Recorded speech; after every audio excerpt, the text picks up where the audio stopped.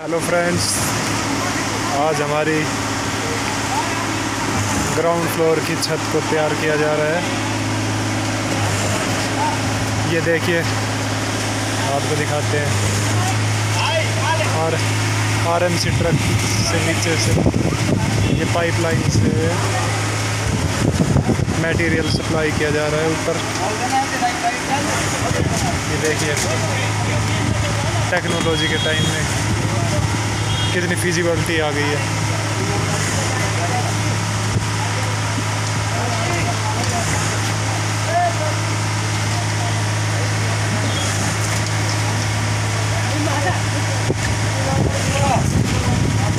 ये देखिए।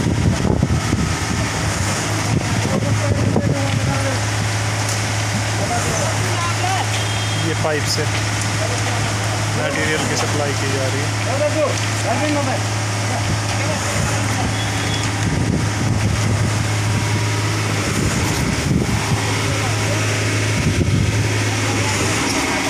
जो काम 12 घंटे में होता था, वो ये काम तीन से चार घंटों में निपटा देती है। ये आर एम सी ट्रक खड़ा हुआ है, यहाँ से मटेरियल की सप्लाई की जा रही है। आगे की अपडेट आप लोगों को मिलती रहेगी।